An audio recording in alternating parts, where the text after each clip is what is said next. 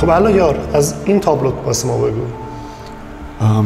اسمش که برج بابله این همونه در واقع. همون همون مفهومه. فقط با این توفیر که اینجا آدم آدما هستن ولی بیرون شهرن انگار شهر رو ترک کردن.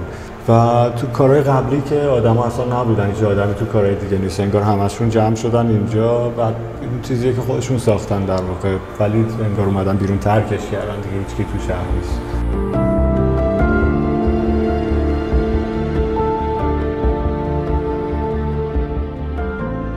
در واقع ایده اصلی این نمایشگاه با توجه در ادامه نمایشگاه قبلیم بود. نمایشگاه قبلیم شاعرانه های شهر بود و همچنان درگیر همون سابجکت موضوع بودم که راجع به شهر رو گرفتاری و خوبی های شهر استفاده کنیم ازش کار من توی کتاب خیام با تیکای تصویر یعنی با کاغذهای مختلف جنس تصویر نوشته های چاپی استفاده کردم. گذاشتم کنار هم دیگه و مثلا نوشته راجع به چیز دیگه بوده کلمه‌اش استخراج کردم. یه دو بیتی از خیام در آوردم از توش. توی ویدیو هم همین اتفاق داره با صدا میفته کتابای صوتی یا موزیک رکوردایی بوده که از شعر خیام حافظ سعدی اینا رو میخونده و تیکای مختلفش رو کندم و کنار هم گذاشتم و جمله دیگه ای ساختم باشون بیا آغاز کنی. نان پختن نان شکستن نان قسمت کردن.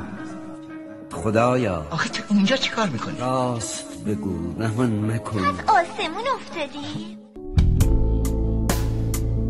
این کار در واقع همون برج بابل فقط سه بودی در واقع.